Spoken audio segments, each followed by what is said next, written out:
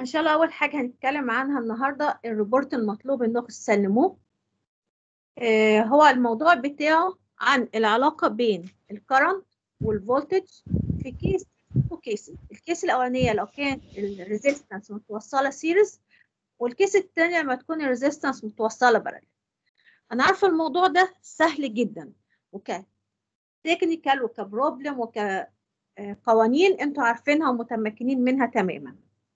طيب إيه المطلوب منكم؟ مطلوب منكم إنكم تصيغوا الكلام ده في صورة report بالكامل. بيحتوي على كل ال sections اللي إحنا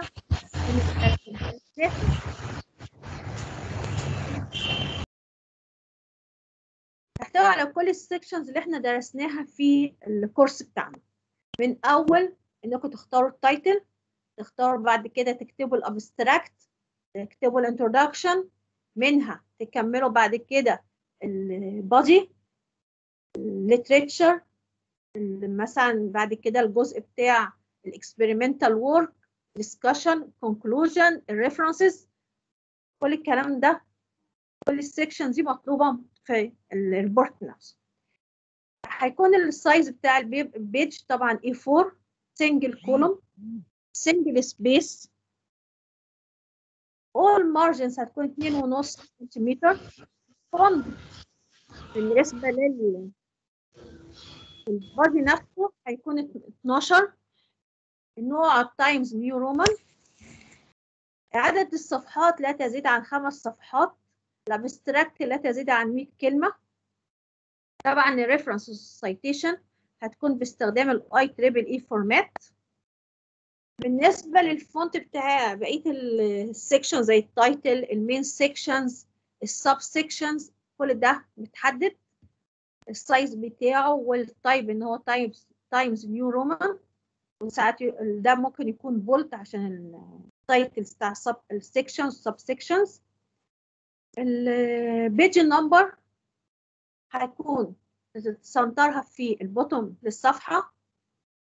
بالنسبة لل submission هتعملوا ال submission ال file تحولوه PDF وهي ساعة ما تبعتوه تتأكدوا إن هو في ال PDF format ال file name هيكون عبارة عن جزئين. الجزء الأولاني هو ال ID بتاعك underscore الاسم بكرر تاني أهو ال file name بيكون your ID طبعا تشيل your ID اللي هي الرقم بتاعك تحط ال ID بتاعك underscore الاسم بتاعك. okay؟ هيبقى فيه الثلاثة forms واحدة ال power واحدة ال communications واحدة الكمبيوتر كل واحد يعمل submit لل department بتاعه. يا ريت بقى دلوقتي مفيش واحد يقول أنا اتلخبطت يعني من كتر السرعة أنا ما خدتش بالي. طبعا عندكم وقت يعني حتى ال deadline هنا ليوم الثلاث 15 يونيو. يعني أسبوعين بالظبط إن شاء الله. فعندكم وقت تكتبوا ال report. الموضوع سهل جدا. بس حاولوا بقدر الإمكان ما تقولش عشان الموضوع سهل هكتبه بسرعة و... وبأي كلام والحاجات دي كلها. لا اكتبوا بدقة. حاول تلتزم بكل ال instructions الموجودة. لأن التقييم بتاع ال report زي ما قلت لكم على إنكم تحققوا كل ال instructions اللي إحنا حاطينها في ال file ده ال file بتاع ال Word. وال format هتكتبوها إزاي وهتكتبوا إزاي ال figures ال tables ال references كل ده عليه درجة.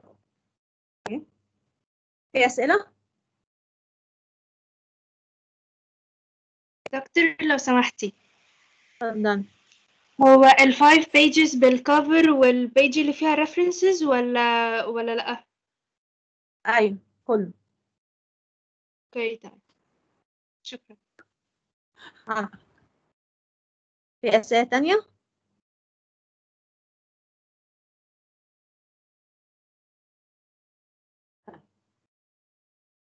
آه، زي ما قلت الديدلاين هيكون يوم الثلاث 15 يونيو لحد الساعة 11 59 يعني آخر عشان يبقى قدامكم أسبوعين تكتبوا على راحتكم okay؟ تعالوا بقى النهاردة هنكمل كلامنا عن ال reports أو ال research paper إحنا كنا وقفنا المرة اللي فاتت إن إحنا اتكلمنا عن tools هنحتاجها في experimental work. زي ال equations زي ال units واتكلمنا عنهم بالتفصيل. في أسئلة فيهم؟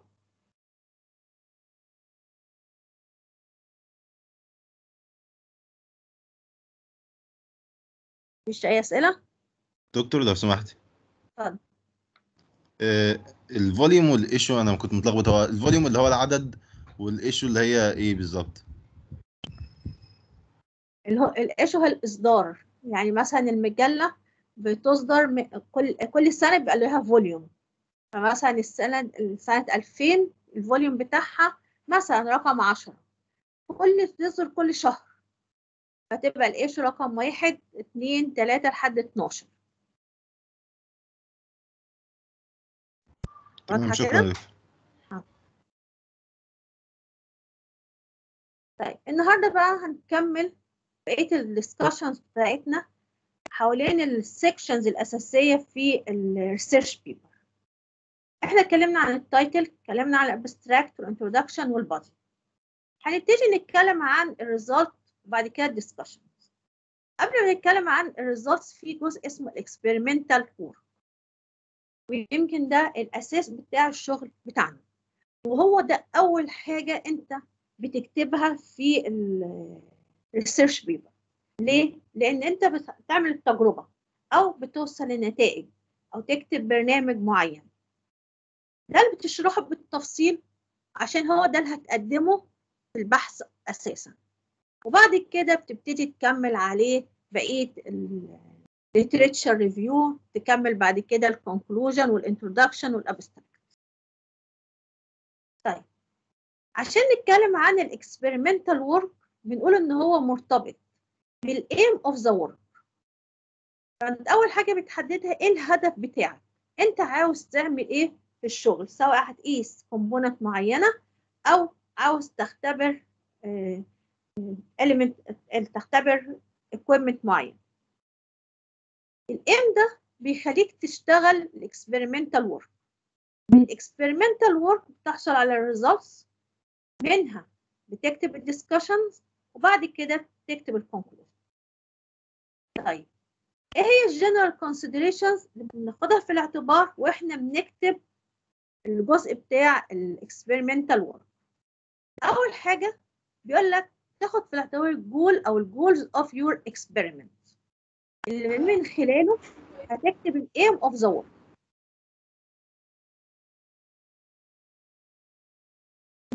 ده أول خطوة.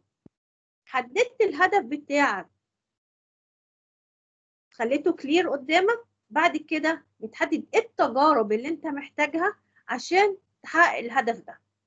فبتقول how you performed the experiment. ده من خلال ال experimental work وبتشرحه في ال section ده. طيب عملت التجربة وصلت لمجموعة من القراءات وسجلتها. فكده انت وصلت لل result ومن ال result لازم بقى تبتدي تاخد الأرقام وتحللها تعمل لها analysis فبتاخد من ال result you obtain بتبني ال discussion فمثلا وصلت ال curve هتبتدي تسأل طب ال curve ده ليه هو في ازدياد؟ ليه هو في النقصان؟ طب بيزداد بانهي معدل؟ كل الكلام ده بتبتدي تعمله ال discussion آخر حاجة بتوضح why these results are important. وده بيظهر في ال conclusion طيب هنتكلم على كل جزء من الأجزاء دي. أول حاجة ال aim of the work ده انت بتحدد الهدف بتاعك. يقول لك a research aim expresses the intention or an aspiration of the research study عاوز تعرف انت هدفك ايه بالظبط كل ده لازم تعبر عنه في جملة واحدة بس تقول it summarizes in a single sentence بتاع بتكتب فيها what you hope to achieve at the end of a research project تكتبها بجملة واحدة وتصيغها بتحس إنها تكون very specific؟ بحيث إن ال- القارئ بتاع الجملة دي يتذكرها طول ما هو بيك- بيكمل قرايته في الريسيرش كله ليه؟ لأن هو ده الهدف اللي هو حاطه إن أنت ح- ال author نفسه حاطه لنفسه وفي نفس الوقت هو ده الهدف اللي اللي حط ال reader قدامه أنت عاوز توصل للهدف ده فطول ما ال reader عمال يقرأ عاوز يوصل للهدف ده. فبيقرأ ال paragraph الأولاني ده وصلني ولا لأ؟ التاني التالت. أول ما هيوصل للهدف بتاعه هيقول آه ده ده كان مكتوب في الأول خالص. فعشان كده الجملة دي هي دي اللي بيتذكرها ال reader طول ما هو بيقرأ research paper وفي نفس الوقت بيتذكرها بعد ما بيخلص ال paper دي. يقول أيوه ده الهدف بتاع ال research ده كذا وده هيكون الجملة اللي كتبها ال author في الأول. طيب تعالوا ناخد أمثلة على الكلام ده. ال aim of the work بالنسبة لل thesis سواء رسالة ماجستير أو رسالة دكتوراه بتبقى section بالكامل. وفي بعض الرسائل بتبقى chapter اسمه aim of the thesis. بيقول لك ال aim بتاعك the thesis modifies the algorithm بيكمل الأهداف اللي هو أو الهدف اللي هو عاوزه. في ناس تانية تحط تحط تكتب الجول بتاعها explicitly في ال abstract فمثلا هنا ده عبارة عن بحث منشور في ال IEEE إدارة ال author بتوعه يقول البحث باسم intranet based real time laboratory a case study in electrical engineering كاتب في ال abstract أول جملة على طول the, goal of this paper is to design كذا فيقول لك الهدف بتاعه بعد ما تخلص القراية كلها بتاعت البيبر هتفتكر إن الهدف بتاعه هو ده وأنت كريدة هتقيم هل هو. وصل للهدف ده وحققه ولا لأ؟ تعالوا نشوف هنا. هنا برضو عبارة عن abstract. برضو the goal of this paper is كذا كذا كذا كذا. فده بيقولها برضو صراحة في الابستراكت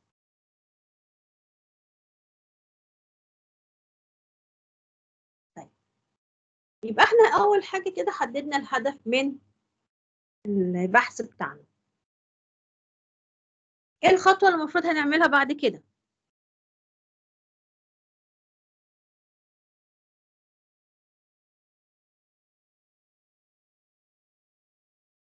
إيه رأيكم إيه الخطوة اللي المفروض هتتعمل بعد كده؟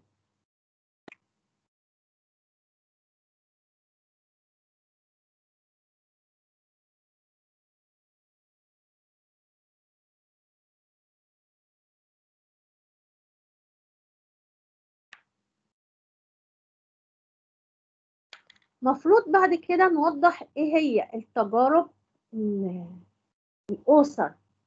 آه، أجراها وايه هي مثلا ال programs اللي هو نفذها عشان يحقق الجول ده. طيب التجارب والبرامج وال simulation والكلام ده هيتحط فين؟ هيتحط في الجزء بتاع ال experimental work okay؟ experimental work it includes enough information about materials and method to enable another suitably qualified person to repeat your experiments تفهم من كده إيه المفروض تكتبه في ال experimental work إيه رايك إيه المفروض بقى يتكتب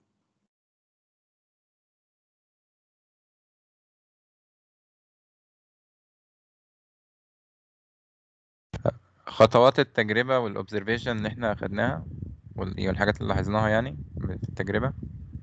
أيوه. مظبوط كده. هنكتب خطوات التجربة ال observations اللي انت وصلت ونعمل- لها. ونعمل بقى conclusion حاجة كده تلخص الموضوع. ده section بقى تاني خالص. conclusion هتبقى section مختلف عن ال experimental work تمام.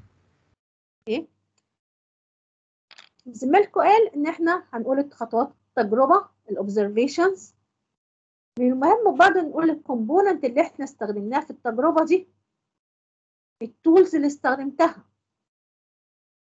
بحيث إن هو هنا بيقول لنا جملة مهمة جدا. يقول لك to enable another suitably qualified person to repeat your experiment. بحيث إن لو في أي شخص تاني قرا الخطوات اللي أنت كتبتها ومشى عليها بنفس الطريقة اللي أنت كتبت بيها المفروض يوصل لنفس الريزلت. فأنت وإن- وإحنا بنكتب أي تجربة بنكون حاطين قدامنا نقطة إن أي حد هيقرأ الكلام ده يقدر ينفذه.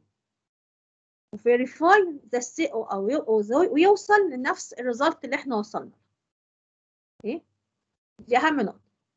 عشان كده ال chapter الخاص بال experimental work هتلاقيه بيحتوي على أول حاجة introduction ده لو أنت بتتعامل مع thesis لكن بالنسبة لو research paper صغيرة ما بنكتبش فيها introduction. ال materials المستخدمة ال test devices ال instruments used to get the result. بعد كده ال experiment نفسها سواء حطيت بقى drawing steps of each experiment شرح بالتفصيل. بعد كده write the standards for each test. تعالوا نتكلم عن كل جزء من دول. زي ما قلنا ال introduction ده لو الناس بتكتب رسائل ماجستير أو دكتوراه لازم تحط ال chapter ده introduction لكن اللي إحنا في ال papers أو في ال reports الصغيرة الجزء ده مش مهم اللي إحنا هنركز عليه أول حاجة ال materials used test devices وال instruments على أساس إن في ال experimental work لازم تحط كل ال materials اللي أنت استخدمتها. فمثلا الناس بتوع كيمياء لازم يقولوا أيوه إحنا استخدمنا الملح كذا كذا جرام. ال- الناس اللي شغالة في كهرباء هنقول إحنا هن- هنبني دايرة محتاجين ثلاث مقاومات كل مقاومه 330 اوم محتاجين 3 7 segment محتاجين كذا كذا كذا. بنحط طبعا عددهم بنحط إيه ال component المطلوب؟ لو كانت resistance لو كان capacitors whatever ونحط لو حاجات لها قيمة برضه تتحط يعني capacitors نحط كام micro farad كام nano farad وهكذا. في ال materials ساعات بنحتاج حاجة آه، يعني بتتقسم في حاجة اسمها supplies. دي consumable items يعني items بتستهلك في ال experiment نفسها زي ال chemical components فدي بتصنف ك supplies. طبعا بعد ما تخلص التجربة كل ال sup supplies ما بتبقاش أصلا موجود لكن في حاجة اسمها equipment دي ال tools أو ال machinery that are needed such as metering devices. ال equipment ال tools اللي أنت هتحتاجها وأنت بتنفذ التجربة بتاعتك. مثلا أنت محتاج لابتوب عشان تبرمج microcontroller اردوينو مثلا. محتاج وأنت بتشتغل breadboard power supply oscillators oscilloscope فانت إيه؟ ده عبارة عن equipment بدأت بيها التجربة وبعد ما هتخلص التجربة ال equipment دي هتفضل برضو زي ما هي. ده الفرق بين ال supplies وال equipment بيقول لك في بعض ال experiment مش كافي بس إنك تقول list of equipment and supplies. لازم تحدد بالظبط مثلا ال size ال brands ال types أو ال model number كمان. فمثلا ممكن واحد يقول أنا هشتغل مع digital signals أو نخليها مثلا microwave signals يقول لك أنا عاوز oscilloscope طيب خلاص هو قال لك أنا عاوز oscilloscope وعاوز يقيس بيه microwave signals microwave signals عشان تتقاس عاوزة نوع معين من ال oscilloscope مش أي oscilloscope يشتغل معاك فلازم بنكون محددين جدا.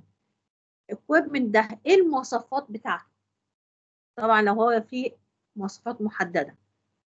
okay فبيقول لك أنا في بعض الأحيان بتحتاج equipment ولازم تحط كل ال specifications بتاعتها.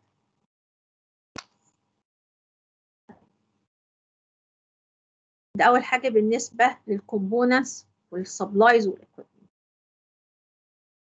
في حاجة تانية برضو من ال materials اللي إحنا بنحتاجها هي ال data. يمكن لما الناس تيجي مثلا عاوزة تكتب برنامج كمبيوتر. قبل ما بنكتب أي برنامج نجمع ال data عشان نستخلص منها البرنامج ده هيشتغل إزاي. فهنا ال data needed to perform the experiment. لو انت محتاج data في ال experiment بتاعتك بتقول ال data دي حصلت عليها من خلال عملية measuring أو collecting أو استخدمت data موجودة على سايز معينة وعملت لها downloading طبعا لازم تحدد ال data ال source بتاعتك انت جبتها منين. طيب تعالوا ناخد نشوف أمثلة كده. إيه هي ال data اللي ممكن مثلا نستخدمها في ال experiments بتاعتنا؟ إيه رأيكم؟ إيه هي ال data؟ زي إيه؟ أمثلة عليها.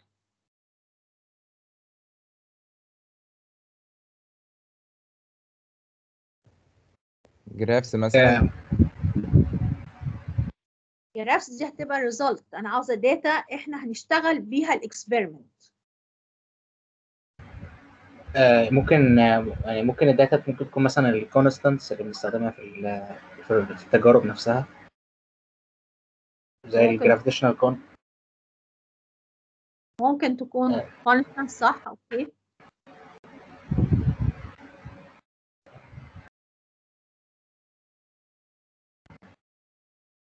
ممكن تكون إيه كمان إحنا ممكن نقول على ال data sheet عامة إنها data يعني ممكن نقول عليها كده على أساس إن أنت دي عبارة عن material انت محتاجها أو data محتاجها عشان تشغل بيها ال equipments اللي عندك. okay ال parameters اللي بتتغير أصلا. parameters بس انت انت هتثبت ال parameter دي ممكن تكون ضمن ال assumption بتاعتك. عندك مجموعة من ال parameters فهتحط مثلا ال parameter ده قيمته كذا صح؟ فهتثبته في بقية التجربة. فدي يعني قريبة من ال data بس مش تعتبر data نفسها. okay إيه كمان؟ ممكن القوانين اللي. بعوض فيها؟ لا القوانين ما بتعتبرش data.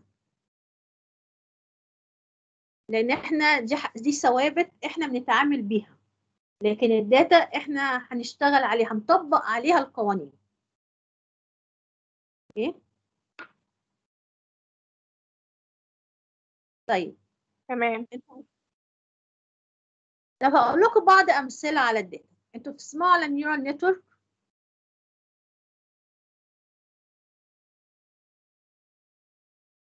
طب نخليها أبسط شوية. بتسمعوا artificial intelligence. آه من- دكتور. انت عشان تبرمج ال artificial intelligence عشان مثلا أبسط حاجة يعمل classification بين حاجتين مختلفين جسم كبير وجسم صغير مثلا. ده بيتبرمج إزاي؟ حد عنده فكرة؟ آه، معلش يا دكتور حضرتك قلت إيه؟ إحنا عشان نبرمج ال artificial intelligent يعني. أي system عاوز أبرمجه وهو artificial intelligence بحيث إن هو مثلا يفرق لي بين الأجسام الكبيرة يحطها في ناحية والأجسام الصغيرة يحطها في الناحيه التانية. تمام. ده عشان يتمرن. فأنت بتحط له بت... يعني إيه؟ بتدي له مجموعة من ال data. محتاج إيه؟ أيوه محتاج مجموعة من ال data كبيرة أجسام كبيرة وأجسام صغيرة وبتبتدي تعلمه. ال data دي أنت بتعمل لها يا إما generated يا إما بتعمل لها downloaded إيه؟ بحيث إن أنت بتمرن ال artificial intelligence system بتاعك. حاجة تانية. مثلا أنا هقول هنا application مثلا في database ناس شغالة على classification على الصور بتاع الكوفيد 19 بيمرنوا artificial intelligence معين بحيث إن هو أول ما يدخلوا الصور الصورة الأشعة الأشعة بتاعة الصدر يقول الصورة دي الشخص ده مصاب أو الشخص ده سليم. طيب السيستم ده لازم يتمرن. يتمرن إزاي؟ يتمرن من خلال إن أنت تعرض عليه صور كتيرة جدا وكل صوره بتقول له آه ده أنت تتعلم الصورة دي أول ما هتشوفها هتقول ده شخص سليم. أول ما تشوف الصورة بالشكل ده تقول ده شخص مصاب بالكوفيد 19 طيب عشان يتعلم فبياخد data set كبيرة. ال data set دي لازم الواحد يبتدي يا إما يجمعها بنفسه يا إما يعمل لها downloading فمثلا هنا دي مجموعة من الأبحاث بتبتدي تتعامل مع الكوفيد 19 فعاوز يتعامل مع data ال data دي عبارة عن صور كتيرة جدا. عبارة عن سي إكس ار اشعه سي إكس ار تقول لك بعد كده ده عنده كوفيد ولا لأ. طيب مين هيجمع الصور دي؟ قال لك في data bases موجودة عليها الصور. مثلا data base الأولانية هنا في عنده خمسة data bases كلهم فيهم صور. يقدر يستخدمهم مباشرة ويمرن ال artificial intelligence واضح كده؟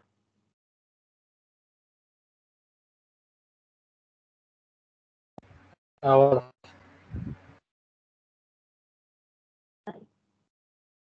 في data برضو انت مثلا بتقيسها من خلال مثلا بتكون الدايرة بتاعتك. زي ما إحنا عارفين انت هتبتدي مثلا تدخل الفولت تمرره في الدايرة. وتبتدي تشوف ال out بتاعك دي data أنت هتجمعها. يقول لك بعد كده أنت بعد ما بتحصل على ال data بتاعتك قد يكون في بعض criteria في اختيار ال data. لو في criteria بتعتمد عليها لازم برضو تقولها. لو في assumption should be stated. okay. يبقى أنت لو بتتعامل مع ال data لازم تقول أنت جبتها منين؟ لازم تقول لو في أي criteria في ال data لازم تذكرها ولازم تقول أي assumption أنت فرض. طب هنعبر عن ال material دي إزاي؟ فمثلا هنا بيقول لك ال experimental work أول section حط ال material. فجه هنا table 1 وبدأ يكتب ال materials اللي هو استخدمها. فده من بتوع غزل بيقول إيه هنا fabric code fabric design yarn count ويقول النسبة بتاعة ال lycra فيها قد إيه ال weight بتاعها قد إيه ال thickness قد إيه دي العينة اللي هو هيشتغل بيها. طيب. واحد تاني هيعمل run على البرنامج run البرنامج اللي هو كتبه. تعالوا بص هيقول إيه the simulation was performed using laptop وبيحط كل ال specification بتاعت اللابتوب السرعة بتاعته كام؟ ال Intel core قد إيه؟ 16 gigabyte RAM حتى ال Windows بيقول عليه ال version كام؟ 10 64 bit بيقول البرامج اللي هو استخدمها Mathematica 11 MATLAB بيقول كل برنامج استخدمه في إيه؟ فلازم طبعا دي كلها component لازم تتحط. طيب بتوع بقى الكمبيوتر يقول لي هو إحنا لازم نحط ال details دي كلها؟ هل في أمثلة عندكم لازم تذكر فيها كل ال details دي؟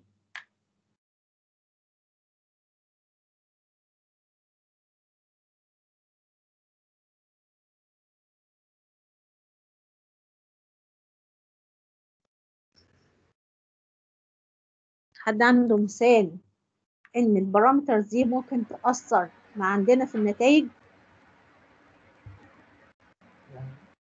ممكن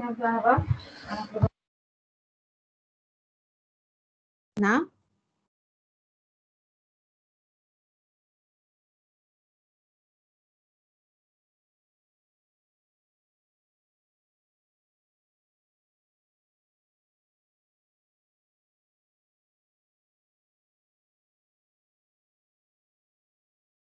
إيه رأيك لازم الحاجات دي كلها تذكر ولا مفيش داعي لها وخلاص؟ أنا أقول إن أنا استخدمت لابتوب ومفيش داعي إن أنا أذكر السرعة بتاعته قد إيه ولا الرام بتاعته قد إيه. آه لا هو هو الحاجات دي مهم إنها تذكر لأن يعني هي مبدئيا لو, أنا بستخدم مثلا لو أنا بستخدم جهاز إمكانياته ضعيفة ف ده فالنتائج مش ممكن ما تبقاش دقة عالية أو الريزولوشن بتاع النتيجة نفسه مش هيفيد ال experiment نفسها. أنا شايفه. كلامك صح. إحنا دلوقتي مثلا لو طلب تكتبوا برنامج كمبيوتر برنامج ينفذ لنا function معين. أبسط حاجة مثلا counter واحد تاني عاوز يجربه المفروض يوصل مثلا ال counter ده يعد من ال zero لحد ال ten في زمن معين. أنت كتبت الكود بتاعك وعملت له simulation وطلعت إن الزمن ده مثلا واحد millisecond جه واحد تاني جرب الكود بتاعك على جهاز مختلف تماما ممكن يكون أحدث ممكن يكون أقدم. يجي يجربه يطلع زمن مختلف. هي يرجع تاني يقول لها ال algorithm بتاعك مش حلو ال algorithm بتاعك مش شغال والكلام ده. فساعتها نقول إن لازم اللي يكتب لازم يحط كل ال parameters بدقة كبيرة جدا بحيث زي ما اتفقنا في الأول اللي يعمل اللي ينفذ نفس الخطوات دي ونفس التجربة دي بنفس ال parameters يوصل لنفس النتيجة.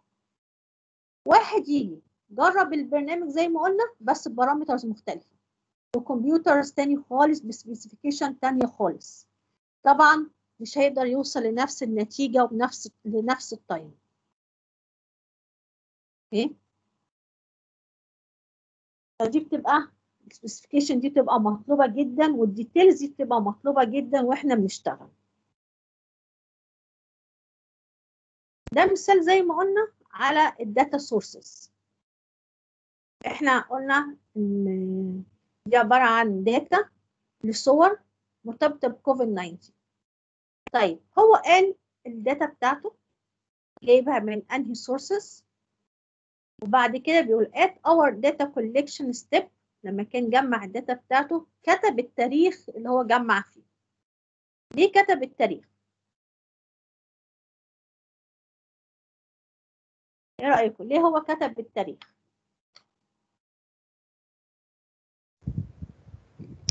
لأن ممكن يبقى صيف أو شتاء مثلا فالحرارة بتأثر أو أو حاجة تحصل يعني قدام ف يعني الفيروس يتغير أو يعني الجينات فيه تتغير أو يحصل فيه طفرات. ما إحنا مالناش دعوة بالفيروس نفسه إحنا لينا دعوة بالداتا نفسها.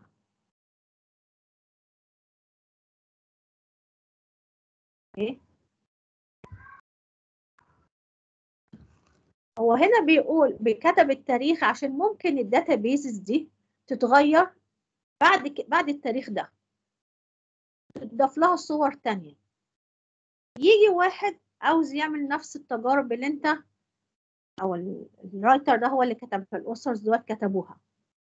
ينزل ال images من ال databases هيلاقي images مختلفة. يجي لل author يبعت له. أنا نزلت من نفس ال database دي بس ال result طلعت مختلفة.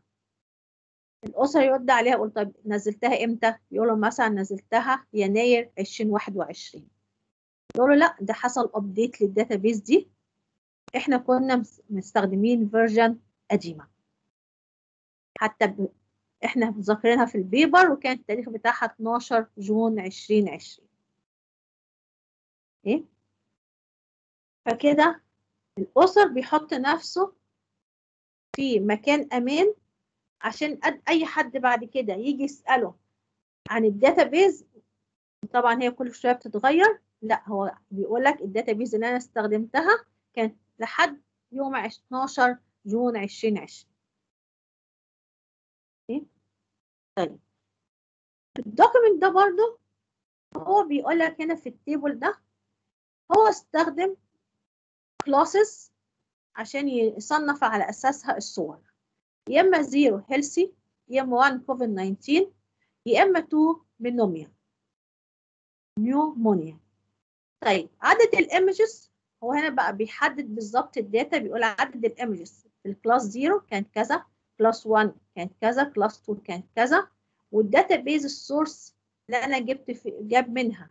class 0 كانت database 1 و2 و4 و6 فهنا شرح بالتفصيل ال database اللي هو اشتغل عليها.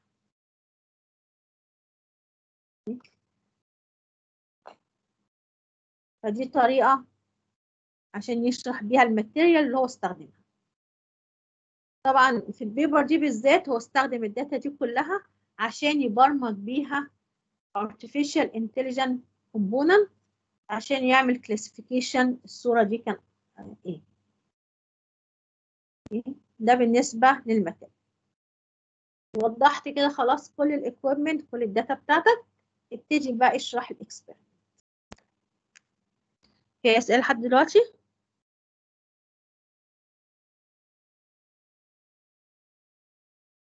تمام يا دكتور. الجزء بتاع ال experiment تبتدي تشرح ال block diagram ال pictures of instruments اللي استخدمتها. لو في circuit بتحط ال schematic circuit لو اللي في أي chart أو أي صورة breadboard معينة تبتدي تنزلها في ال chapter فمثلا ده block diagram ل AM modulation transmitter.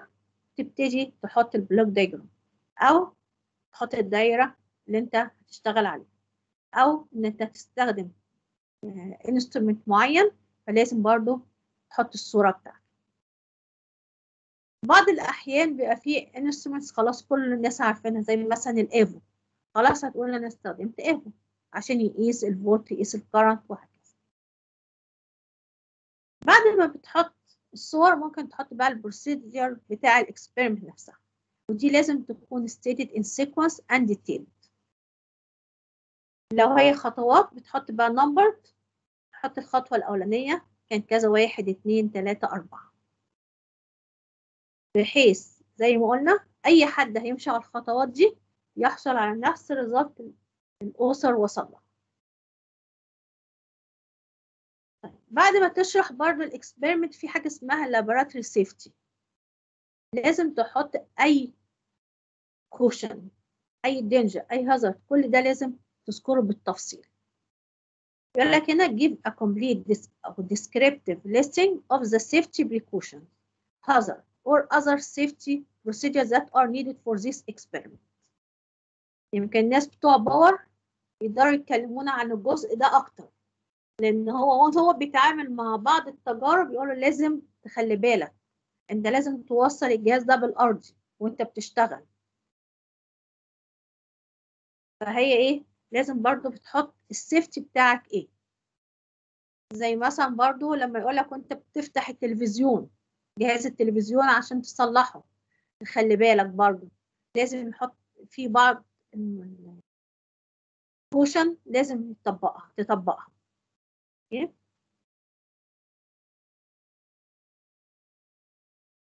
بعد كده في بعض ال notes بقى المهم وإحنا شغالين بيقولك don't mix materials and method with result يعني وإحنا بنتكلم عن ال material وال methods محدش يقول طيب أنا حصلت في عملت run وحصلت على النتيجة كانت كذا.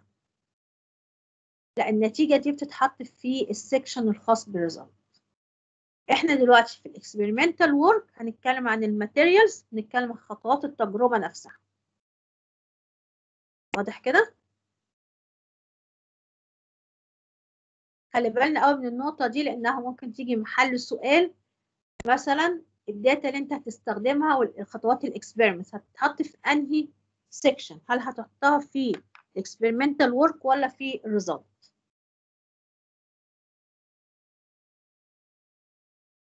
بعد كده بيقول لك if you are using a method that has already been documented in the literature don't describe it in full. مش لازم تحطها بالتفصيل. لأن دي خلاص method موجودة well documented. فحط الريفرنس بتاعها. لكن لو انت لسه بتعمل تجربة جديدة أو عاوز تشرح تجربة لحد بالت... بال in details فبتيجي بقى اشرحها. Describe it in details. لكن لو هي مشروحة في ال literature خلاص. بيقول لك في برضه وانت بتشتغل don't change your symbols and their meaning as you go along. فانت طول ما انت شغال في ال الدوكيمنت بتاعك لازم تحافظ على ال symbol زي ما هي. إيه؟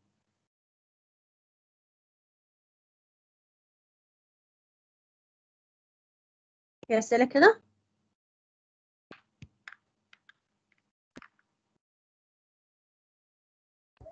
آه، تمام. دكتور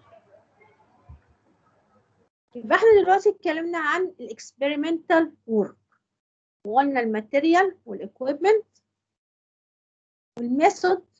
لو في أي assumption ولو في أي افتراضات ال author استخدمها. هيشرح ال experiment بتاعته؟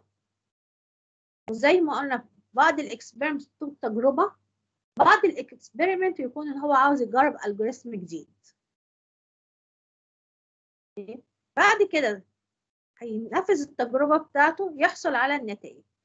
النتائج دي اللي هي ال results سواء يكون أرقام يكون إن ال program اشتغل وطلع له result معينة. في ناس مثلا بت بتشغل microcontroller فبتعمل design hardware و software فيبقى ده ال experiment بتاعتها بتكون ال hardware وتشرح ال board ال board فيها إيه والجزء ال software تشرح البرنامج. فده ك experiment بعد كده بتوضح ال result اللي هو ال output بتاع ال experiment بعد ال result ناخد ال result ونعمل لها analysis لأن من ال analysis دي بنحصل على ال discussion وال conclusion تعالوا النهارده هنتكلم عن ال results إزاي نكتبها؟ فبيقول لنا هنا أول حاجة عشان نفهم بس إيه العلاقة بين experimental work وال results وال discussion فبيقول لنا هنا ال materials وال methods اللي إحنا بنحطها في ال experimental work في الأول.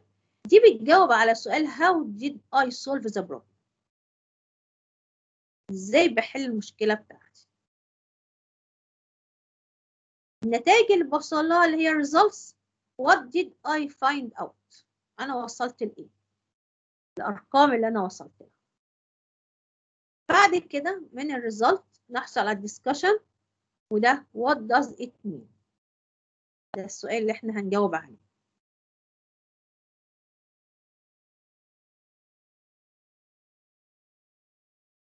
فمعنى كده مثلا أنا لو جبت أي paragraph ممكن أنت بقى تعمله classify هل هو materials method أو هو خاص بال results أو خاص بال discussion ده.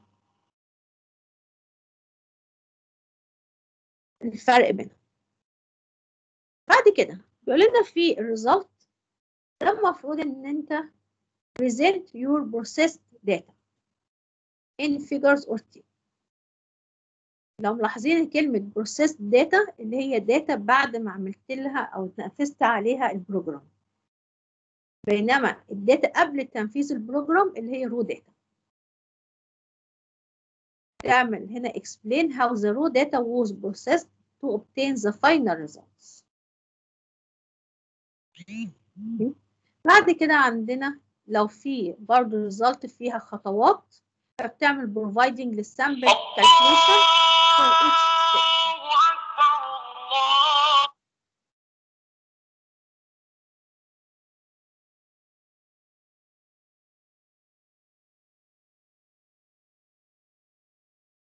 طيب تعالوا نشوف ال results دي هنعبر عنها إزاي.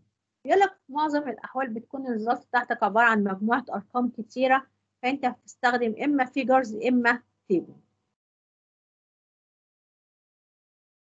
فبيقول لك هنا by its very nature scientific writing includes the use of diagrams graphs and tables. إمتى بقى هنستخدم ال graph وإمتى هنستخدم ال table؟ إيه رأيكم؟ إمتى استخدم ده وإمتى استخدم ده؟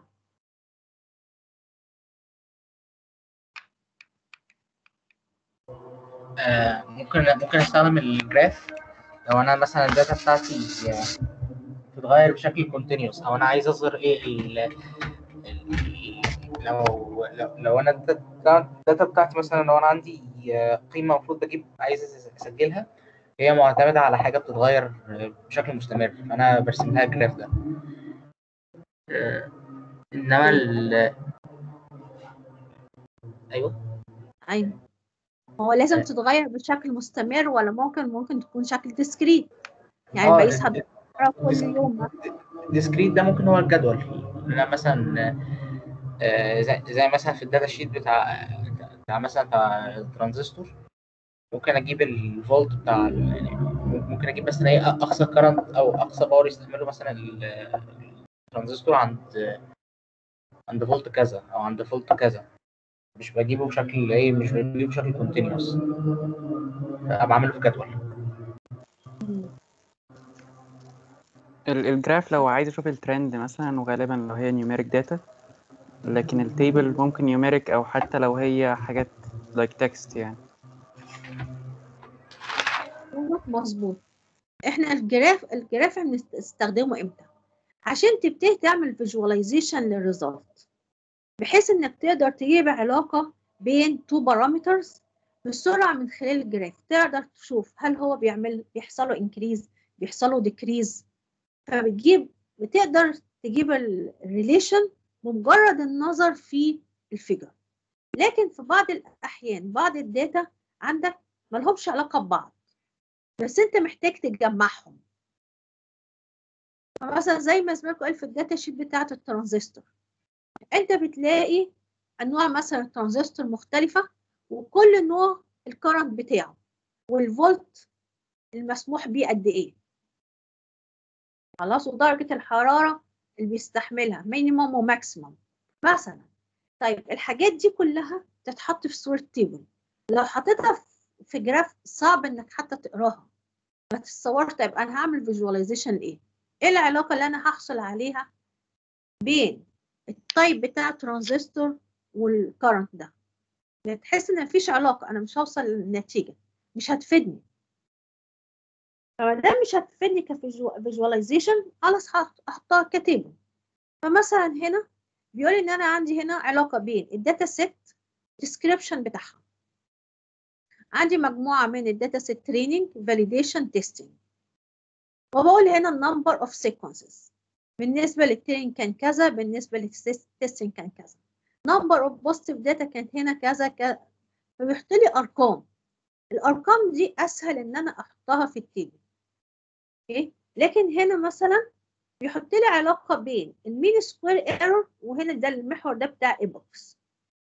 عدد مرات التكرار.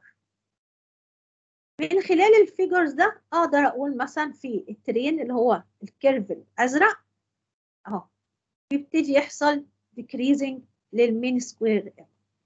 لو أخضر بيبتدي ينزل لحد نقطة معينة وبعد كده يطلع تاني. فمن خلال ال table خلاص عرفت من عملت له visualization أقدر بعد كده أسهل بالنسبة لي إن أنا أعمله analysis بعد كده أعمله discussion وأوصل منه لل conclusion واضح كده؟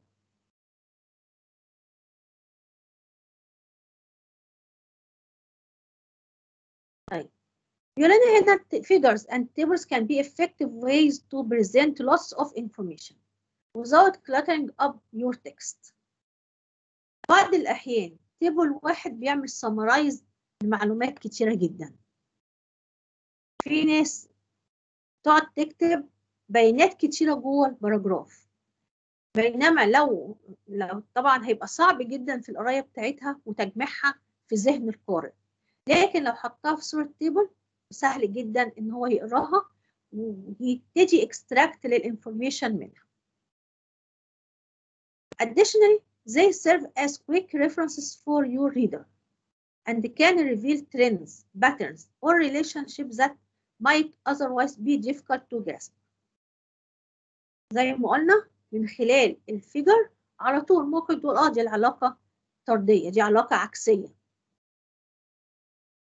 فبيبقى سهل جدا ان انت تعرف العلاقة إيه هي relationship between ال parameters يقول لك يعني tables are typically used to present raw data.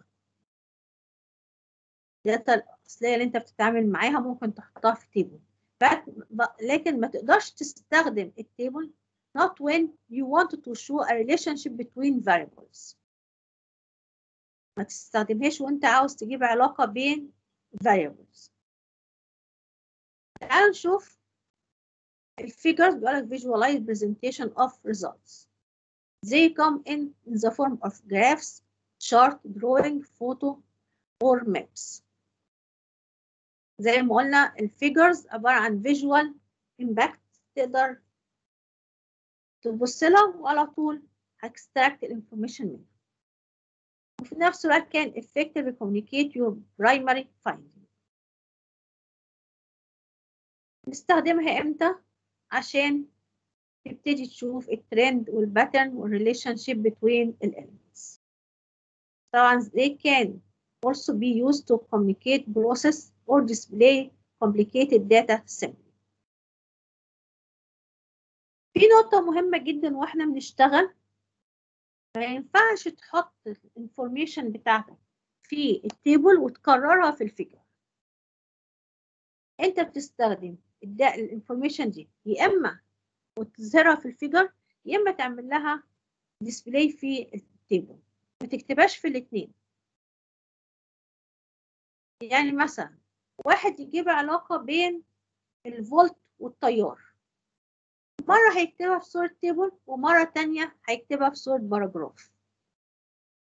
طب ما خلاص حط ال paragraph على طول واستخدم آه sorry حط ال graph نفسه واستنتج منه العلاقة. مش لازم تحط الاتنين وهم نفس المعلومات هي هيها. okay طيب تعالوا نتعامل مع ال tables في طبعا كلنا عارفين ال table بيبقى مجموعة من ال columns مجموعة من ال rows. ال capture بتاع ال caption بتاع ال table بيبقى مكتوب فين؟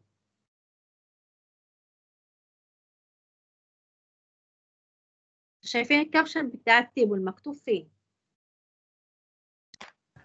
فوق الجدول. فوق الجدول. ال caption هو مقصود بيها ال title بتاع ال table بتكتب الأول table الرقم بتاعه. بعد كده ال title أو ال caption بتاعه اهو طبعا مفروض ال caption يعكس ال information الموجودة في ال table بحيث إن أي حد هيقرأ table رقم 1 circular cylinder. data خلاص هيعرف ال data دي عبارة عن النقطة التانية كل column له parameter خاصة بيه. فمثلا ده column خاص بال rotation angle ده voltage ده delta P ده Cp لو في عندنا component إنها إحنا أو quantity إحنا بنقيسها وحطيناها في الجدول ولها unit لازم ال unit بتاعتها تتحط. فمثلا هنا ال angle بال degree voltage بالفولت delta P بالكيلو باسكال.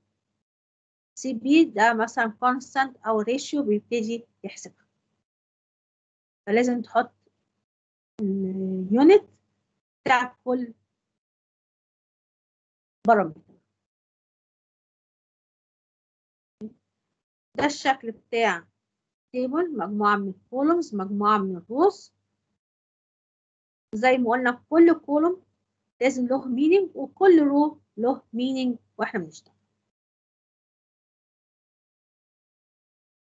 ده مثلا هنا بيقول لنا مجموعة من ال materials ال stiffness بتاعها ال strength بيتعامل مع ال toughness extensibility ويحط كل واحدة الأرقام بتاعتها مع ال units طبعا زي ما قلنا برضو ال table رقم 2 مثلا وبيقول ده عبارة عن إيه؟ خلي بالنا كويس قوي زي ما قلنا المرة اللي فاتت من ال units إحنا عندنا ال units ال metric وعندنا ال units الخاصة بال US. ال metric اللي هي المتر نيوتن كيلو جرام second وهكذا. في عندنا ال SI مليمتر اللي هي مليمتر آه، نيوتن برضو بس طن second بتبقى فيه القيم الأعلى. ال US unit feet inch يكمل لك ال parameters كلها أو ال units كلها باستخدام ال American units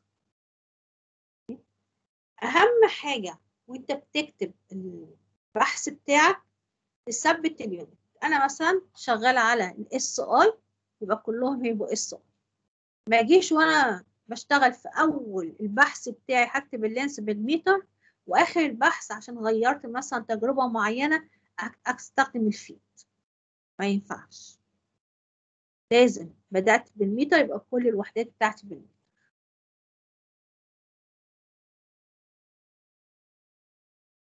okay؟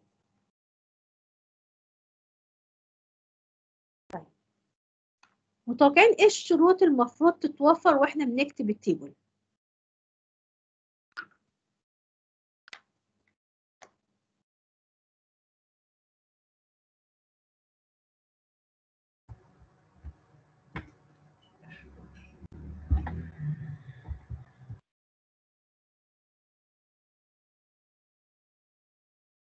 يعني أكتبه مثلا فين؟ أكتبه وحاوطه بالتكست بتاع الكلام الكتير ولا اكتبه إزاي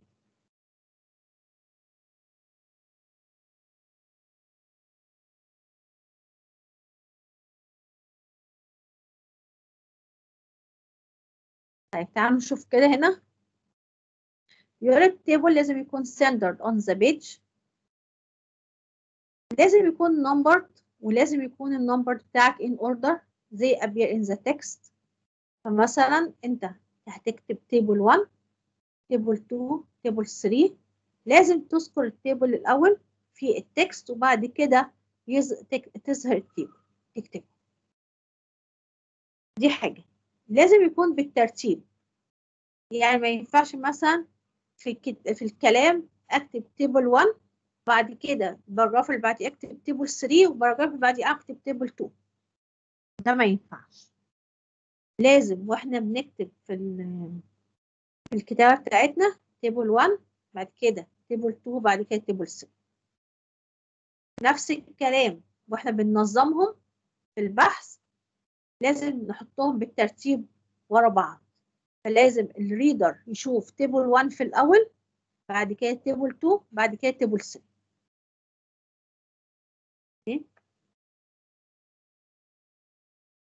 بعد كده reference in the order they appear in the text reference يعني بتيجي برضو لما تبتدي تعمل لهم referencing برضو لازم بنفس الترتيب اللي هو ظهر بيه في ال text labeled with the table number and descriptive title above the table ال label بتاعك أو ال caption لازم يكون descriptive عن محتويات ال table نفسه ما ننساش ان إحنا كل مرة لازم نكتب ال table ده رقم كام.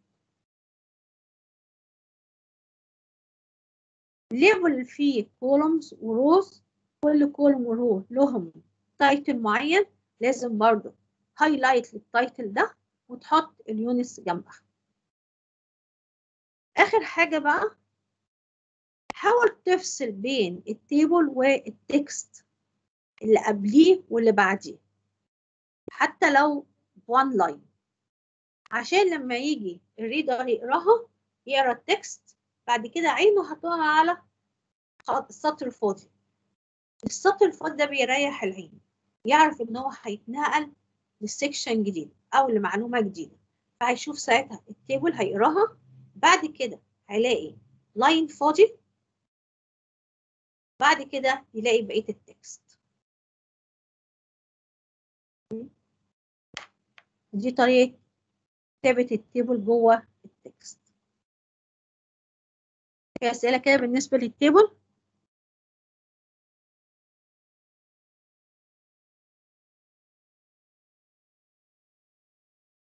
في أسئلة؟ تمام يا دكتور. تعالوا بقى النهارده كمان نتكلم على ال figures بيقول عندنا ال figures can take many forms. ممكن تكون graphs ممكن تكون diagrams ممكن تكون photos ممكن تكون drawing ممكن تكون ممكن تكون maps. تعالوا نشوف بعض الحالات كده وكل مرة نشوف إيه ال figure المناسب لها. بيقول if you want your reader to understand spatial relationship. علاقة بين أماكن. فمثلا عاوز توصف لحد إزاي من المدخل بتاع المكتبات يبتدي يوصل لقسم عمارة مثلا أو يوصل لشؤون الطلبة في مبنى الإدارة. هتبتدي تجيب ال map بتاعة الكلية وتبتدي تشرح له.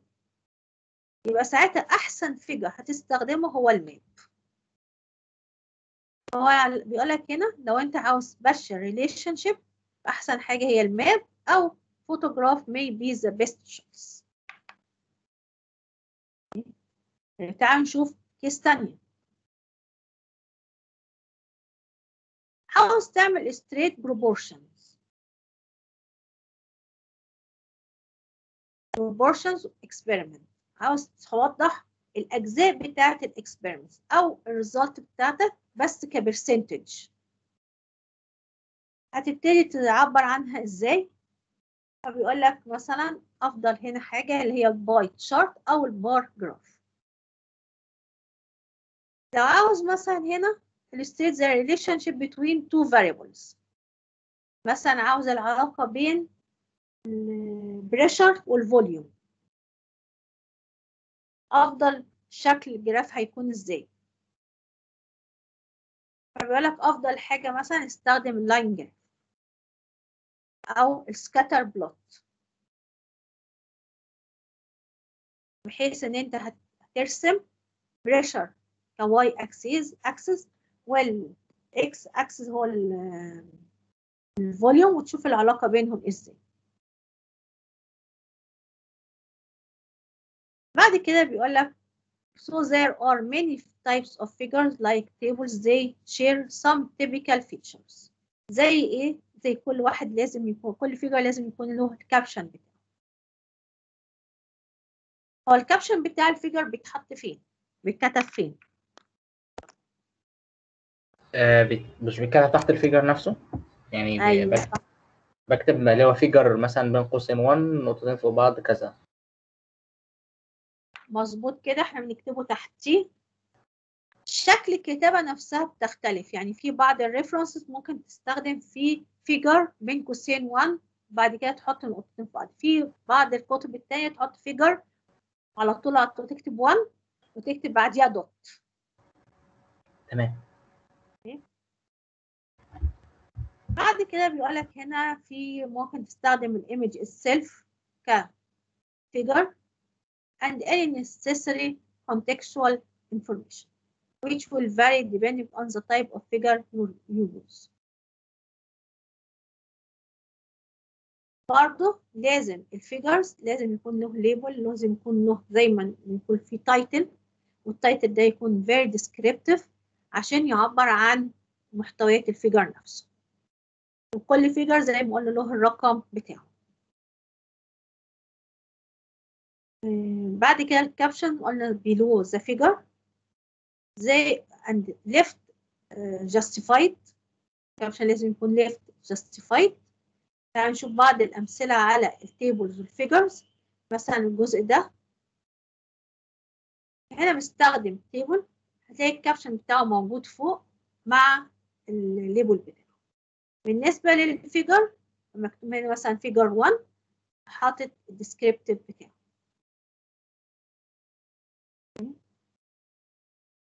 هنا في المثال ده هو مستخدم مجموعة من ال equations بعد كده كتب figure 2 وحط ال descriptive طبعا زي ما أنتم شايفين بيكون justified ناحية ال left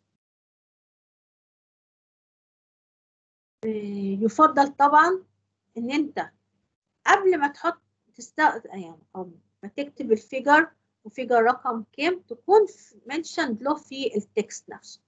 فمثلا هنا shown in figure 2 وبعد كده نحط figure 2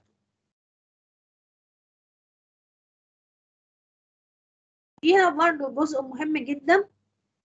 جوه ال text هو كتب figure باستخدام F I G dot 2 هو خلاص هنا مفروض. ما دام اعتمد على ال format دي في ال text يبقى تستخدمها في كل ال text من الأول للآخر. إن أنا لما أعمل referring لأي figure هستخدم F I G dot الرقم بتاعه. برضه يعني حتى هنا هو كتب ال F small المفروض بقى في كل البحث بتاعه من الأول للآخر يكتب figure بنفسه F small I G dot ويحط الرقم. okay فلازم في التزام ب format معينة من الأول للآخر.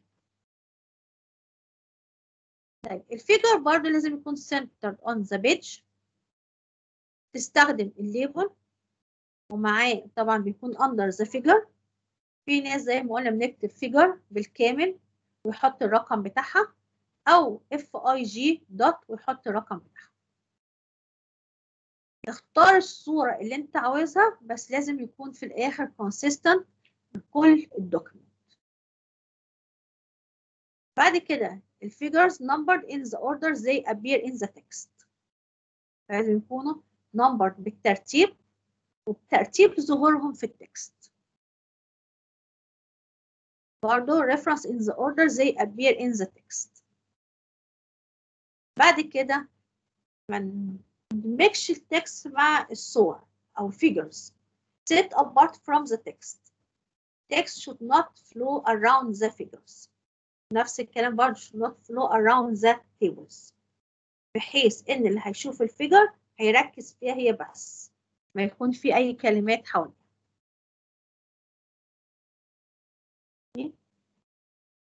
آخر بقى حاجة هنتكلم عنها النهاردة هي ال charts زي ما إحنا شايفين إحنا عندنا مجموعة من ال charts دي بنستخدمها كتير عشان نرسم بيها العلاقة بين ال variables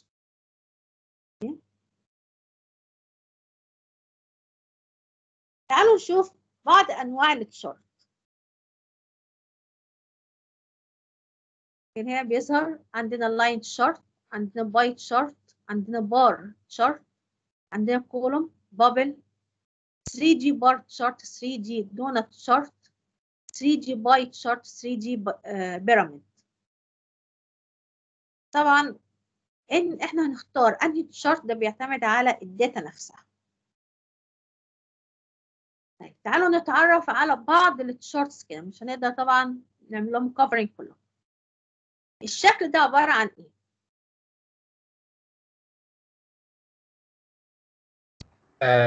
pie chart pie chart طيب إمتى بنستخدمه؟ آه، لو إحنا لو مثلا عاي- عندنا حاول حضرتك لو إحنا عندنا مثلا مجموعة بحالها متقسمة متقسمة كذا فئات. مجموعة كل الحاجات دي المفروض 100% وإحنا عايزين ن visualize قد إيه مثلا المجموعة A بتمثل بتمثل من ال 100% ديت. صح كده. زي ما زميلكم قال إحنا عندنا sample كبيرة متقسمة لمجموعات. مجموعة كل مجموعة لها percentage معين بحيث المجموع كله بتاع ال sample كلها المجموعات كلها يكملي 100% okay؟ فهنا مثلا هو بيتكلم عن elements موجود في soil. طبعا هنا عنده مجموعة كبيرة من ال elements وعامل لهم ال presentation بتاعهم بحيث إن المجموع بتاعهم هيساوي 100% هنا برضو عنده هنا مجموعة من ال elements هو حاطط طبعا كل لون بيعبر عن أنهي element. المفروض مجموعهم يدينا 100% طبعا هنا الأرقام دي مش مظبوطة قوي مجموع المفروض مجموعهم يدينا 100% طيب إيه رأيكم في ال pie chart دي؟ هل هي يعني لما تبص لها بالنظر كده هتحس إنها مقبولة ولا هيبقى في تحس إنها فيها data كتيرة جدا؟ هي هي يعني لو في اللي هي الأجزاء ال sections اللي واخدة نسبة صغيرة من ال- من من الدايرة نفسها مش واضحة ف أيوه هو هنا بيقول لنا ال pie chart كويس قوي لو أنت مثلا مقسم ال sample بتاعتك لخمسة ستة سبعة sections لكن بالصورة دي هيبقى كتير أو عدد ال elements أو عدد ال groups جواها كبير جدا. فبنحاول نخلي ال maximum number of elements لل pie chart في حدود مثلا ستة أو سبعة بالكتير قوي. لكن أكتر من كده هتحس إن ال pie chart بقت overloaded فيها data كتيرة أكتر من اللازم. هنا بس بيشرح لنا الباي تشارت show relative proportion especially the relation of a number of parts to the whole. الهول يعني مجموعهم كلهم يبقى واحد. الشكل ده عبارة عن إيه؟ النوع بتاعه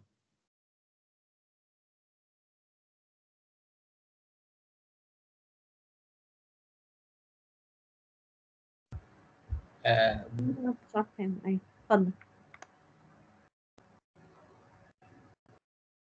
bar graph أيوه ده عبارة عن ال bar chart طيب إمتى بنستخدمه؟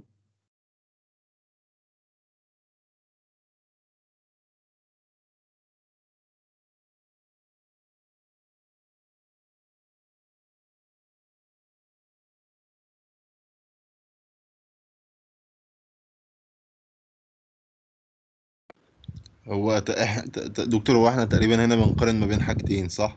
يعني إحنا هنا بنستخدمه حاجة بتزيد حاجة بتقل كده. طيب ما أنت ممكن لو حاجة بتزيد وحاجة بتقل طب ما أنت ممكن تروح لل line chart برضه.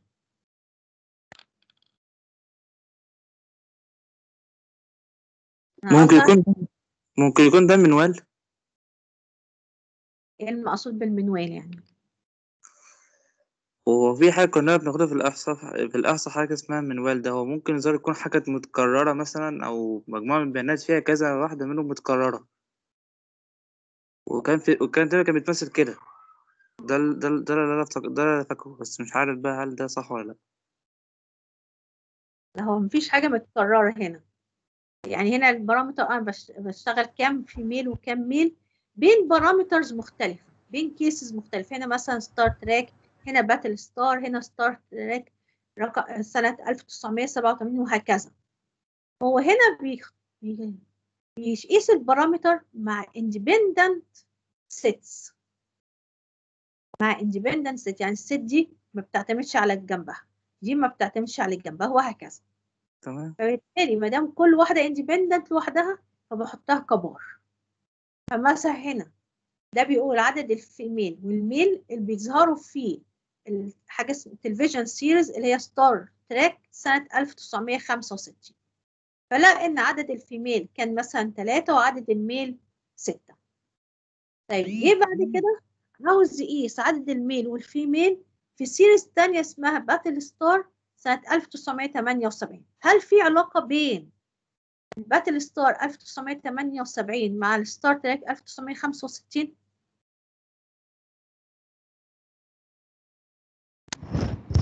لا مفيش علاقة. مفيش أي علاقة. كل واحدة independent عن التانية. خلاص؟ بس الحاجة الوحيدة إن أنا بقيس نفس ال parameters هنا كام female وهنا كام male وهنا كام female وكام male فما دام دولت independent يبقى أحطهم كبار شورت واضحة كده؟ تمام. مثلا مثال تاني مثلا إحنا عاوزين نجيب الأرباح بتاعت شركة معينة خلال السنة أرباح السنوية لكل الشركة.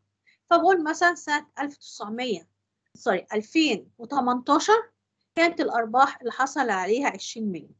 سنة 2019 كانت الأرباح 10 مليون. سنة 2020 كانت الأرباح نزلت بسبب الكوفيد 19 كانت 5 مليون مثلا. مفيش علاقة بين الأرباح في السنة بتاعت 2018 و2019 و2020 فبالتالي الشكل زي ده أحطه من خلال البار تشارت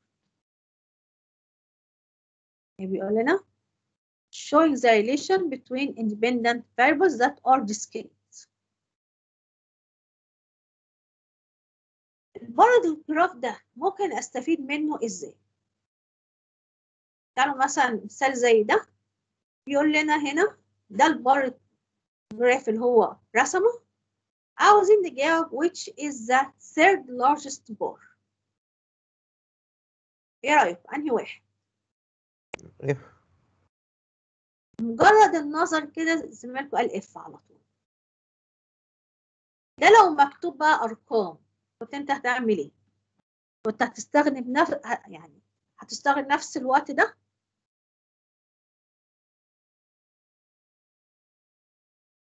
لا. آه ولا لأ؟ لا مش هتعمل مثلا هيبقى أطول. هيبقى تاخد وقت أطول. يبقى ال bar chart كان من خلاله من السهل إنك تقارن بين ال cases المختلفة أو ال parameters المختلفة بتاعت A و B و C و D لحد ال H بسهولة جدا بمجرد النظر. قلت على طول ال F هو تالت أكبر واحد. على طول بمجرد النظر كده هتقولي ال C هو أصغر واحد. وهكذا. فطبعا ده حاجة من الفوائد اللي بتعود علينا في ال bar chart ده برضو مثال تاني على ال bar chart اللي هو monthly revenue last year لشركة معينة. بتقول ال amount بال US dollar وكل شهر قيمة كده طبعا الشهور عبارة عن discrete وفي نفس الوقت independent. فبالتالي لما أجي أحسب ال amount اللي هو بتاع ال month revenue في كل شهر هيكون independent عن اللي قبله أو اللي بعده فبنحطها ك bar chart واضح كده؟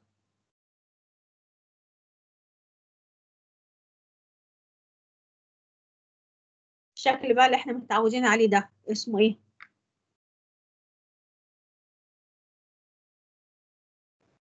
line chart line chart ده طبعا إحنا متعودين عليه علاقة بين two variables. وال variable مثلا زي ال volume ده continuous variable وبتبتدي ترسم أو أول حاجة بتوقع النقط دي وبعد كده توصل بينهم طبعا الميزة بتاعت شكل زي ده إن أنا لو عاوزة volume بأي قيمة من السهل جدا مثلا أنا عاوزة ال pressure عند لما يكون ال volume 300 أعمل إيه؟ بوصل على ال volume 300 أعمل vertical line أول ما ألمس ال curve بتاعنا ده أعمل vertical line وأشوف ال pressure قدامه قد إيه. فطبعا ده بيمكنني إن أنا أعرف العل- العلاقة بين ال pressure وال volume وأقدر أحسبها في أي نقطة أو في أي قيمة لل volume أو أي قيمة لل pressure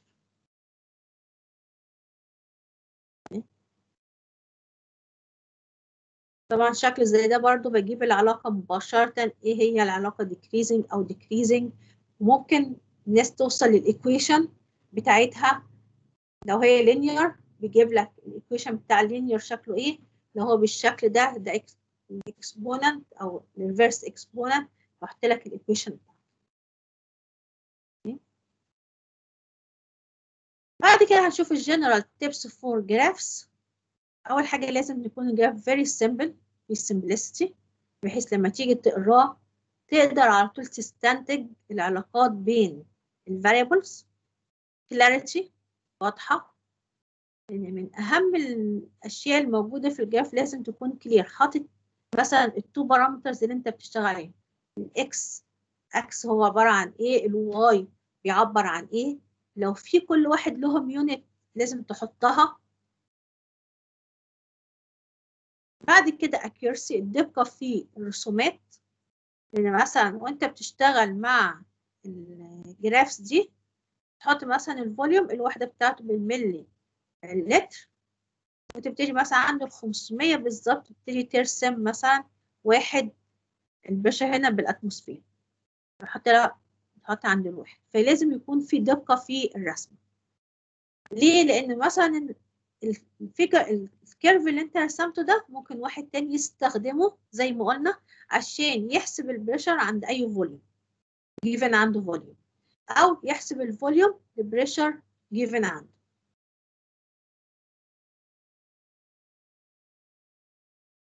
بعد كده when referring to tables and graph from within the text you can use دي بقى حاج... الجزء ده وانت بتكتب ال report إزاي أساس أعمل referring لل table أو للفيجر فبيقول لك ممكن تستخدم جمل زي as shown in table 1 وتبتدي تكمل الجملة بتاعتك. ممكن واحد تاني يستخدم passive voice يقول results are shown in table 1 بعد كده uh, it indi they indicate that كذا كذا كذا وتحط العلاقة. في ناس تحب active voice table 1 shows that تحط الobservation بتاعتك. في ناس تحط بين قوسين each sample tested positive for 3 مثلا كذا وتحط التيبل table 1 between ال brackets okay؟ دي الطريقة اللي إحنا ممكن تعمل referring بيها لل tables أو لل figures في ناس مثلا عشان بس إيه في ناس لما تيجي تكتب آه مثلا تقول we notice that in figure كذا we notice that. We دي ما بتظ... مفروض ما تظهرش عندنا في الكتابة خالص. ولا تستخدم we ولا تستخدم I. حاول تعمل rephrasing لل sentence بتاعتك بحيث تبعد عن استخدام ال we وال I okay ده خلاص كده خلصنا الجزء ده. ده الشكل في الآخر بين ال table وال figures أو ال graph ادي ال table ما ننساش بس إن ال caption بتاعه فوق وال graph ال caption بتاعه هيبقى موجود تحت. في أسئلة كده؟ آه يا دكتور هو درجات ال midterm هتطلع قريب؟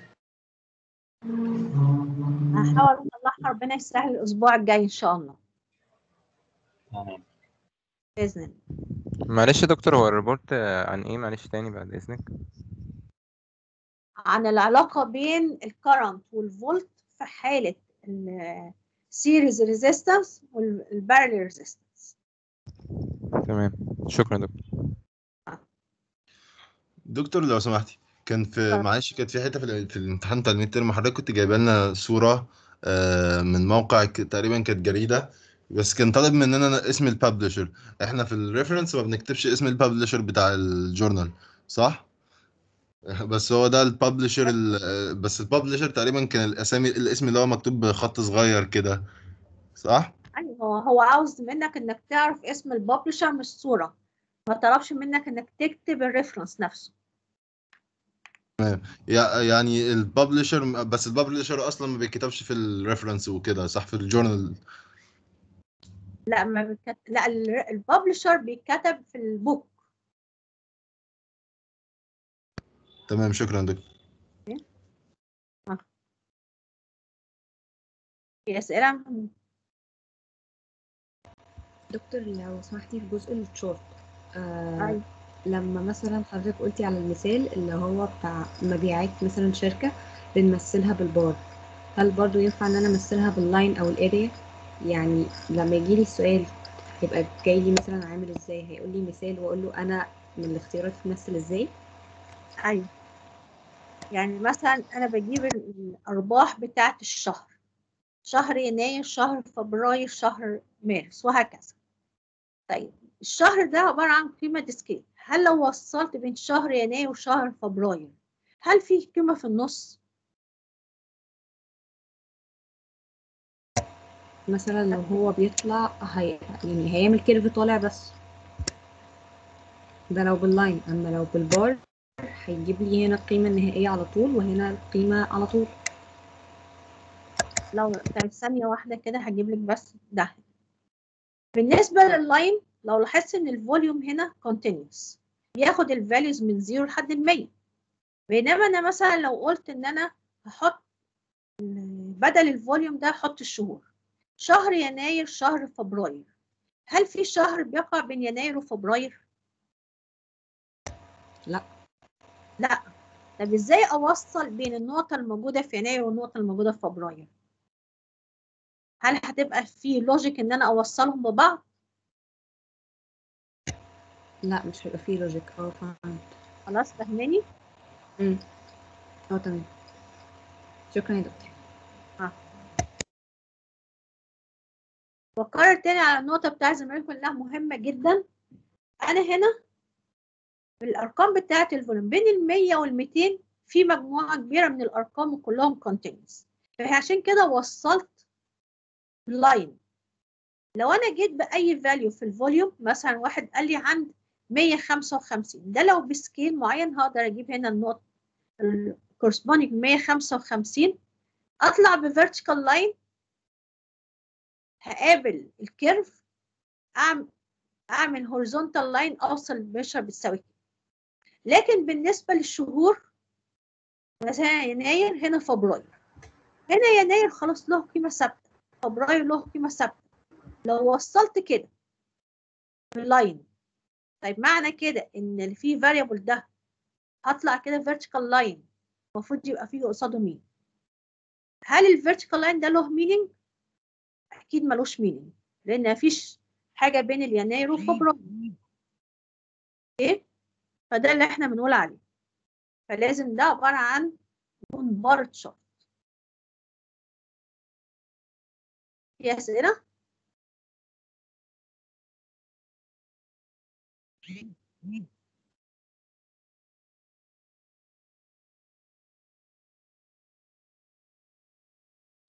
في واحد باعت في الشات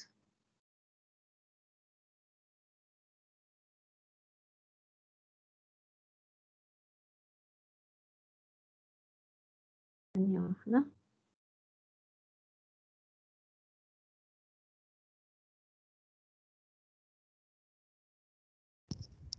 هو بيقول عايز standard report عشان report. يعني أنتوا عندكم مش يعني انت أي document أو report هتنزله أو paper بحث أو بحث هتنزله من على النت هيكون له نفس ال format المفروض تستخدمها. ال abstract ال introduction ال body بتاعك ال experimental work وهكذا. خلاص فاحنا حطينا لكم ال outlines أنتوا المفروض بقى إيه؟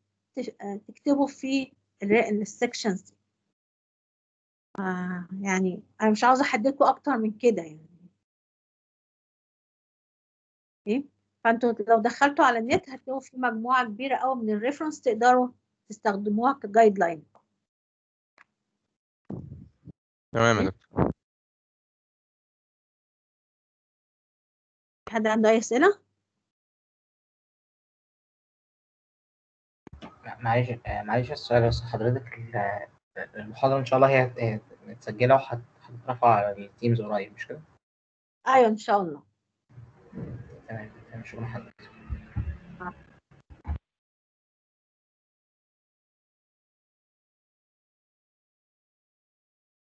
هننزل إن شاء الله هرفع المحاضرة فيديو وعلى الأسبوع الجاي إن شاء الله نعمل forms عشان تقدروا تبعتوا عليها ال report بإذن الله.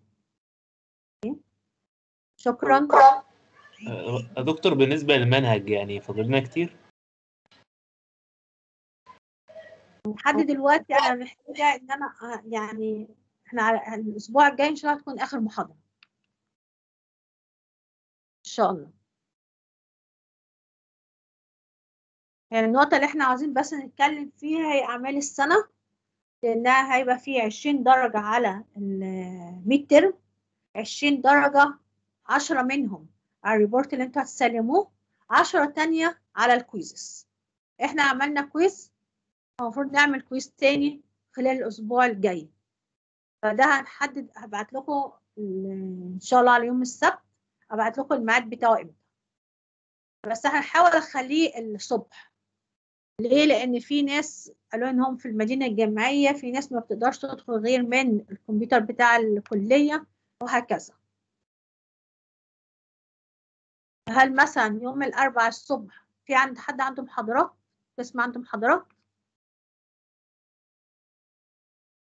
الأربع بكرة لا الأربعاء الأسبوع الجاي طبعا.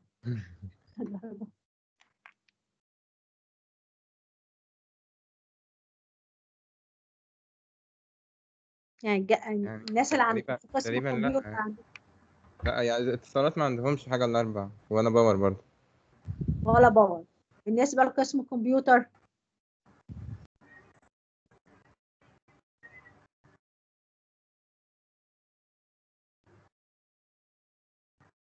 حد معانا في قسم الكمبيوتر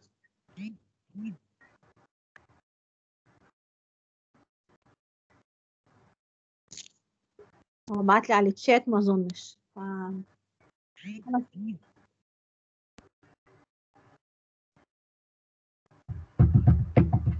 بس المواعيد ممكن تتغير. يعني إحنا مبدئيا المفروض إن أنتم ما عندكمش كلية يوم الاربع فبالتالي إحنا ممكن بس يا دكتور معلش في ناس عندها امتحان يوم الأربعاء اللاب يعني فالصبح هو الأسبوع الجاي ده ولا الأسبوع اللي بعديه المفروض امتحانات المعمل؟ لا الأسبوع الجاي. من أول ستة من أول آه، ستة أه خمسة ستة.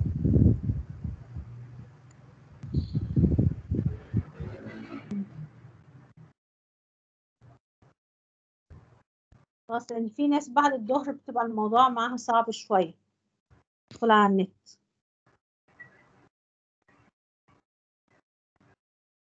لو سمحت يا دكتور هو الكويز دوت على إيه؟ هيكون في المحاضرة بتاعت النهاردة. تمام. والمحاضرة اللي فاتت كمان؟ لا المحاضرة دي المحاضرة بتاعت النهاردة خاصة ال charts وال figures وال tables والكلام ده كله. okay طيب. خلاص يبقى عندنا مثلا ال... أنتوا عندكم المعمل بيبقى الصبح. وممكن نظبط مثلا يوم الأربع الساعة خمسة. okay؟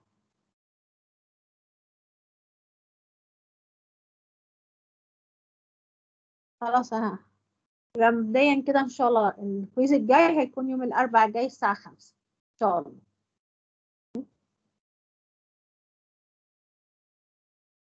في أي أسئلة؟